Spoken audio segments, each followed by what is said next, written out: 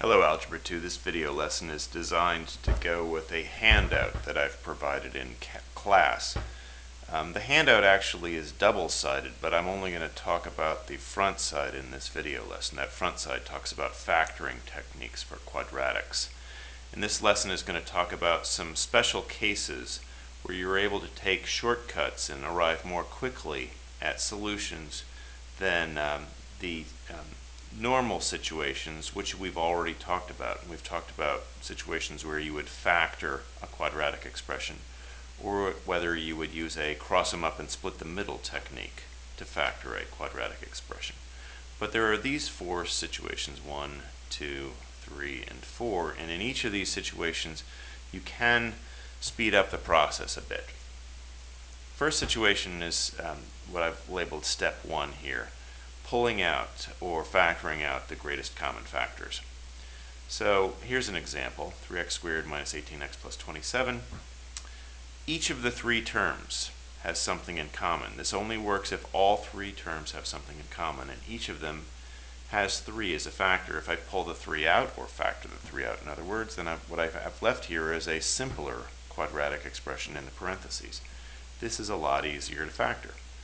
So um, the uh, factors are going to become uh, a pair of binomials, but I don't want to lose track of that 3. That will still be multiplied as part of my answer. So I'm looking now for factors of 9 that add up to make negative 3, and of course those are minus 3 and minus 3. And that's my answer there, 3 times x minus 3 times x minus 3. Those are the factors of the original expression I was given. Second example here, a little more complicated. Um, all three terms have a constant in common, 2, but they also have an x in common, so I can factor both of those things out. 2x comes out of everything, and so what I'm left with inside the parens is this trinomial, and this I would factor using the cross them up technique. Um, 6, whoops, didn't mean to grab that. 6 times negative 4 is negative 24. At the bottom I put uh, minus 5. So the, I'm doing it again, the factors of minus 24 uh, that add up to make minus 5 are 3 and negative 8. So I'm going to keep the 2x. I'm also going to keep the 6x squared and the minus 4. What I'm going to be splitting is this middle part, the minus 5x. So like I said, I've kept the 2x, I've kept the 6x squared, I've kept the minus 4. Split that minus 5x into plus or positive 3x and minus or negative 8x. Now I separate the left side from the right side, and what you're going to end up finding on the left is that you're going to have 3x times 2x plus 1, and on the right you're going to have minus 4 times again 2x plus 1. So keeping that, I've got it in green to make it distinct here, 2x throughout, inside the parens I'm going to have 2x times, well one binomial will be the 3x minus the 4, and the other binomial will be this 2x plus 1. Now at this point, this green set of parens isn't really doing anything any longer, and my answer is simply 2x times what I had as my pair of binomials here. And that is this original expression factored.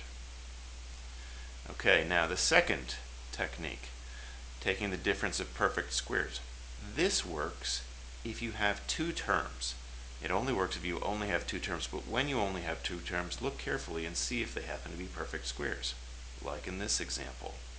4 is a perfect square, x squared is a perfect square, and 25 is a perfect square. We're called, we refer to this as the difference of perfect squares because this has to be a minus sign also.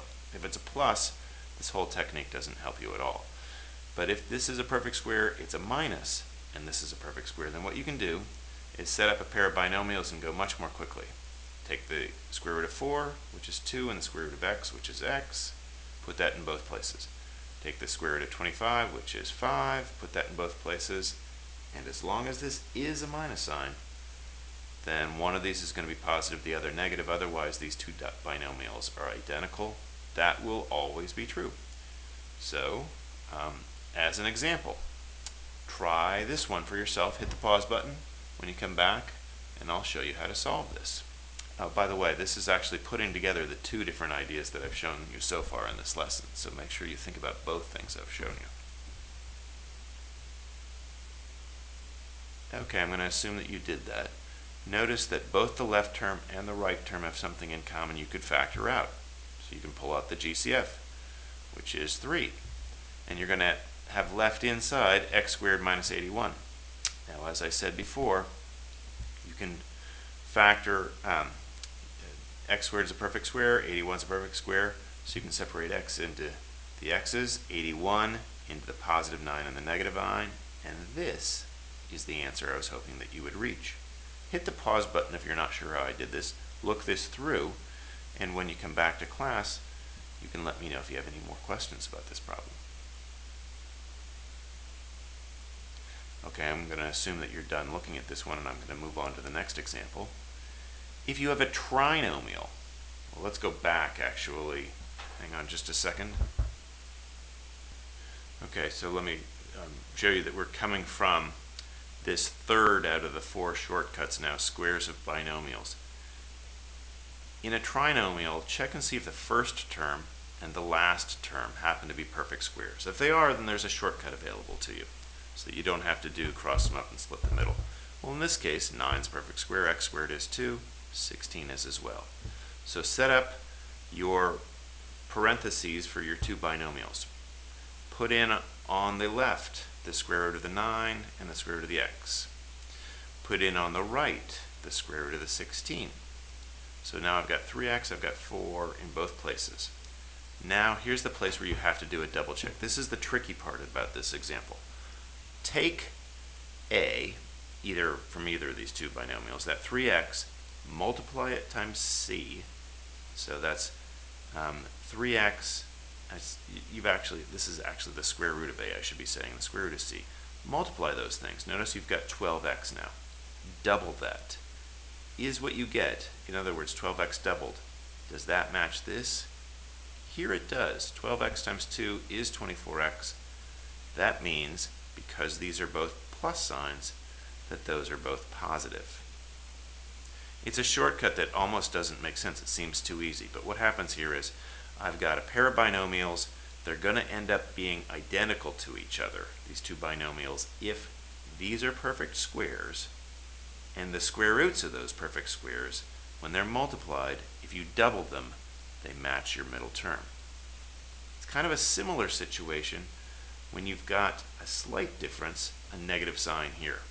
None of this will work if that's negative. But if this is negative, then again, set up your binomial with your uh, square roots in place. And if 4 times 3x, which is 12x, times 2 does match here, and it does once again, this time they're both going to be minus. When that's a minus sign here, these are both going to be minus. So let's double check one other example here. Try this and see if it works. Notice this basically follows the pattern of this trinomial here. You do have a perfect square here, just like you did here. You do have a perfect square here, just like you did here. And you do have a minus sign here, just like you did there. So see if you can figure out whether or not this shortcut is going to work for this problem. Hit the pause button. When you come back, I'll show you the answer. Okay, I'm going to assume that you've tried this. Well, I would have put these in their positions, parens, with the square root of 4x squared, which is 2x, at the front of both binomials, and the square root of 25, which is 5, at the right end of both binomials. Now I'm hoping that 5 times 2x times 2, or doubled in other words, is going to match b. Well, 5 times 2x is 10x, 10x doubled is 20x, doesn't match 13x. So sorry, the shortcut isn't going to work on this problem. So I do at this point have to use the cross sum technique 4 times 25 is 100. At the bottom, I'm going to put negative 13. And unfortunately, it turns out that there aren't any factors of 100 that add up to make negative 13, so this problem can't even be factored at all. It's not factorable. But the shortcut's always worth trying because it saves you a lot of time. So, this problem combines a lot of the ideas that I've given you. Hit the pause button. When you come back, I'll show you the answer.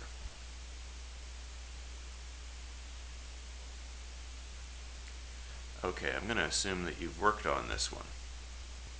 What you would want to do first is you'd want to move that 50 over. Whoops. You'd want to move that 50 over so you've set the trinomial equal to 0. Now the next step is to see if there's anything that you can factor out of everything, and certainly there is. There's that 2 that you can pull out.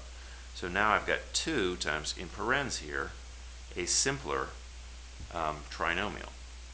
Now I'm going to try to factor this. So, is this a perfect square? It is. 4x squared is. 25 is as well. So I'm going to leave the 2 on the outside, and I'm going to have two sets of parens. Square root of 4x squared is going to be 2x. Put that at the front of both. Uh, square root of 25 is 5. Put that at the right side of both binomials. Now, because that's a minus sign, I'm hoping these are both going to be minuses. But for that to work, I've got to do 5 times 2x, which is 10x, and double that. 10x doubled is 20x. That does work. Put those minuses in place. This is now completely factored on the left side. It's set equal to 0. If I want to know what x is, well, I can forget about the 2. I could have divided that away. 0 over 2 is still 0. So either this is 0 or that is, but these are identical. That means 2x minus 5 has to equal 0, which means x is 5 halves. And that's the solution to this equa equation that I was hoping you would come up with. Okay, that's it for the shortcuts that um, I wanted you to know. And come into class with questions that you have about any of these. I'd be happy to explain.